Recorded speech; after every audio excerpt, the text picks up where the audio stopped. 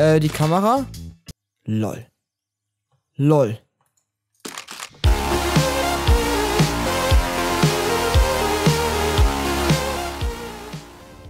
Willkommen Leute zu einem brandneuen Video und heute, liebe Freunde, testen wir eine ganz, ganz besondere Minecraft-Version und zwar die Minecraft Education Edition. Und was ist das Ganze? Eine ganz kurze Erklärung für euch. Diese Minecraft-Version ist speziell entwickelt worden, um halt in Schulen eingesetzt zu werden. Denn es gibt ein paar spezielle Items, ein paar neue Items. Die Version generell wurde etwas angepasst und sie soll so in Schulen angeboten werden. Ich kann mir das, muss ich sagen, nur schwierig vorstellen, aber genau aus dem Grund testen wir das Ganze heute mal. Und ähm, so sieht das Ganze aus. Man kann sich das im App Store von Windows runterladen. Ich habe ein paar Versuche gebraucht. Es war auch gar nicht so einfach, sich das Ganze hier zu installieren, aber letztendlich habe ich das doch hinbekommen. Und das ist hier auch nicht Java-basierend. Das ist, keine Ahnung, C++, glaube ich. Und wir spielen einfach mal eine Runde. Also, was können wir jetzt hier machen? Wir haben jetzt hier ein paar Möglichkeiten, können Multiplayer. Ich muss sagen, ich habe das noch nie gespielt, also ich habe keine Ahnung, was uns hier erwartet. Wir spielen einfach mal, ähm, würde ich sagen, kreativ und schauen uns an, was man denn so Spezielles machen kann. Immer Tag, Startwert, Welttyp unendlich, erstellen. Ja, mehr kann man hier nicht machen, ne? Deshalb würde ich mal sagen, testen wir das Ganze. So, erstellen. Gelände wird gebaut. Yeah. Okay, okay. Ähm, ihr seht schon, das Ganze sieht etwas komisch aus. Es fühlt sich irgendwie ein bisschen anders an. Die G-Animation ist auch etwas anders.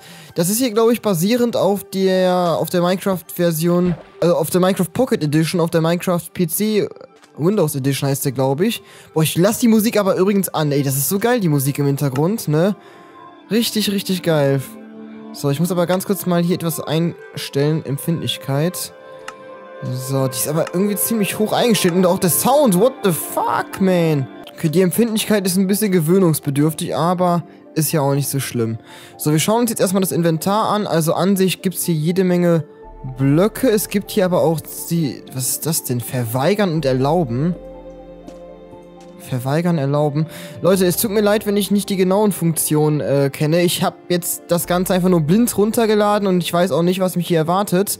Von daher kann ich nichts garantieren. Ich teste das gerade mit euch, ich teste das gerade mit euch live selbst aus. Es gibt Grenzen? What the fuck? Also, das ist sehr cool, komisch, cool. Keine Ahnung, was ich davon halten soll. Also ich schätze mal, der Verweigern-Block und der Erlauben-Block ist halt das, was der Name schon sagt. Man kann halt irgendwelche Befehle oder irgendwelche Commands vielleicht erlauben, verweigern, keine Ahnung. Ja, die Grenze ist halt so eine Art unsichtbare Border bestimmt. Nee, unsichtbar nicht, weil man sieht sie ja. Aber das ist bestimmt sowas, wo man dann halt nicht rüberrennen kann. Pff, obwohl... Boah, ich muss sagen, es ist Fällt mir auch nicht einfach gerade zu interpretieren, wofür das da sein soll. Ähm, ist auf jeden Fall eine Grenze, so viel steht fest. Ansonsten, was finden wir hier noch so? Dekoration, das kennen wir ja soweit das meiste. Es gibt auch, äh... Genau, Poster waren hier auch. Das war, das habe ich auch gesehen. Habe mir nämlich ein Video ganz kurz angeschaut. Da bin ich auch durch, äh, dadurch bin ich auch erstmal auf diese Minecraft-Version aufmerksam geworden. Aber ich habe mir nicht genau angeschaut, was halt in dieser Version enthalten ist. Ich habe nur gesehen, okay, Education Edition, ey, da kann ich ja mal ein Video zu machen. So, jetzt schauen wir uns das Ganze hier mal an. Es gibt auf jeden Fall drei neue Arten von Schildern. Schilder? Schildern? Wie man so nennen möchte. Und zwar einmal Schiefer. Okay, damit können wir auch, wir können irgendwas hinschreiben. Und dann haben wir so eine Art Tafel. Dann haben wir einen Poster, soll das glaube ich sein, oder? Was soll das sein? Dieses Poster geht dann über zwei Blöcke. Können wir hier irgendwas hinschreiben bestimmt, ne? Ja, genau, kann man wieder was hinschreiben. Und es gibt auch hier Einsteigen. Ach du Heilige. Das hier ist eine große Tafel. Boah, ich, ich muss sagen, Leute, ich finde das einfach irgendwie lustig. Aber ich kann mir das einfach nicht vorstellen, dass Minecraft in Schulen eingesetzt wird.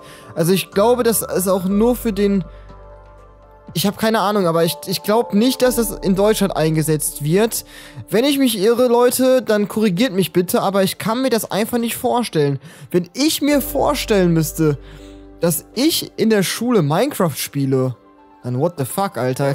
Das, das wär, stellt euch vor, ihr seid da irgendwie mit eurem Lehrer und zockt da eine Runde Minecraft. Ach du Heilige. nee. Ähm. Ja, was gibt's denn noch so? Wir haben hier den Steinmetz-Block. Äh. Man kann man hier auch den Modus LOL. Man kann den Modus auch wechseln. Okay. Aber das bringt mir im Endeffekt gar nichts. Ich finde es auch extrem lustig, wie alles hier dargestellt wird. Also, die Version ist ja angelehnt an der Pocket Edition beziehungsweise, beziehungsweise an der Windows 10 Edition. Und wenn ich jetzt hier auf Game Mode 0 gehe und dann hier, kann ich jetzt irgendwas machen? Nee, die, also die Blöcke, keine Ahnung. Ist auf jeden Fall komisch. Ähm, dann würde ich sagen, wechseln wir mal wieder zum Game Mode 1 und schauen mal weiter, was wir noch so finden. Steinmetz. Ich habe keine Ahnung, Leute. Wie gesagt, bitte verurteilt mich nicht, wenn ich einige Sachen nicht weiß. Ah, genau, genau, genau, das habe ich auch gesehen. Man kann NPCs spawnen und dann kann man hier so eine Art Text hinzufügen. Und man kann den äh, NPC sogar anpassen. Man kann sagen, er soll dieses Aussehen haben, dieses Aussehen haben. Man kann dem NPC einen Namen geben. Zum Beispiel äh, Haschler Boschler. Äh, er sagt dann Hallo. Geh weg. Das sagt er dann. Und jetzt können wir sogar optional noch eine URL adden. Zum Beispiel CraftingPad. Äh, shop.de. Ey, so eine dumme Werbung habe ich ja noch nie gemacht, Alter. Das war ja die perfekte Vorlage. Gut, gut. Ihr könnt übrigens gerne im Shop vorbeischauen, wenn ihr wollt. Da sind, ist ein neues Motiv reingekommen. craftingpad-shop.de. Mann, ey, was ein geiler Übergang, ne? So, und dann können wir das Ganze hier oben rechts schließen. Dann haben wir hier den NPC Haschler Baschler. Und mit dem können wir dann auch reden. Wir können den jetzt natürlich auch ähm, verändern, da wir im Game Mode 1 waren. Sind wir jetzt im Game Mode 0, so sollte es eigentlich möglich sein. Man kann, man, kann ihn immer noch bearbeiten. Hm. Ah. Nee, doch. Doch. Hm. Keine Ahnung, aber jedenfalls, vielleicht weil ich ihn erstellt habe, ich habe keine Ahnung. Jedenfalls kann man ihn bearbeiten. Auch im Game Mode 0. Äh, was gibt's hier noch so? Was gibt's hier noch so Unbekanntes? Ach, es gab eine Kamera, genau, das habe ich auch gesehen. Und ein Portfolio. Äh, die Kamera. Lol. Lol. Ey, ich will ein Selfie machen mit Taschler Geht das? Jawohl! Nein, das ist doch nicht der scheiß Ernst. What the fuck, Alter? Was soll denn dann im Unterricht sein, ey? Ja, liebe Schüler, heute lernen wir, wie wir Fotos machen. Stellt euch mal zu irgendwelchen NPCs und macht Fotos. Wow! Und dann, dann macht man irgendwie so eine Klausur über Fotoshootings. Dann muss man so die beste Perspektive auswählen. So, ja, äh, du musst ranzoomen. Kann man auch ranzoomen? Geht das irgendwie? Ich, ich glaube nicht, oder? Ja, ja, heute, Leute, müssen wir mal einen Close-Shot üben. Dafür müsst ihr ganz nah an die Person rangehen. Und ungefähr so. Ja. Perfekt. Und jetzt mal einmal ein Foto vom ganzen Körper, wenn ich bitten darf. Ach, und hier, lol. Okay, ich verstehe. Jetzt sind die Sachen im Portfolio drin. Interessant. Jetzt habe ich hier meine Fotos mit Haschler Jetzt kann ich das exportieren, wenn ich sogar will. Ich kann die Fotos löschen. Ey, interessant. Also wirklich interessant. Noch ein Foto machen mit meinem neuen NPC-Kollegen und der heißt, äh, Bernhard. Hallo, Bernhard. So, und jetzt kann ich Bernhard auch ein cooles Outfit geben. Und das ist jetzt das Outfit. Ah, das sind beides die gleichen. Äh. So, das ist Bernhard, das ist Haschler Baschler. Und jetzt machen wir gemeinsam ein Foto. So, jetzt hier Bernhard lächeln. Okay, Haschler Baschler ist ein bisschen schüchtern. Machen wir erstmal zusammen ein Selfie. So, jetzt. Yeah! Jetzt alle zusammen. Mit der Crew. Yeah. Ach Gott, ey, ist das... Ich muss sagen, ich finde das irgendwie ein bisschen lustig mit der Kamera. Auch wenn ich mir nicht genau vorstellen kann, was man damit machen soll. Äh, ja, es ist auf jeden Fall lustig. Ähm, also ich weiß schon, was man damit machen soll, nur ich verstehe irgendwie nicht, warum es ausgerechnet das in der äh, Education Edition gibt und nicht in der vollen Edition. Naja, ist ja auch egal. Ansonsten, was haben wir noch so? Wir haben hier einen Beobachter. Lol, das habe ich gar nicht gesehen. Beobachter? Kann man Leute stalken oder wie? Äh. Hm. Natürlich jetzt wieder die Frage, was kann man damit machen? Man kann damit auf jeden Fall irgendwas machen. Ähm, ja, wahrscheinlich ist das so, so eine Art Kamera. Ich, Beobachter.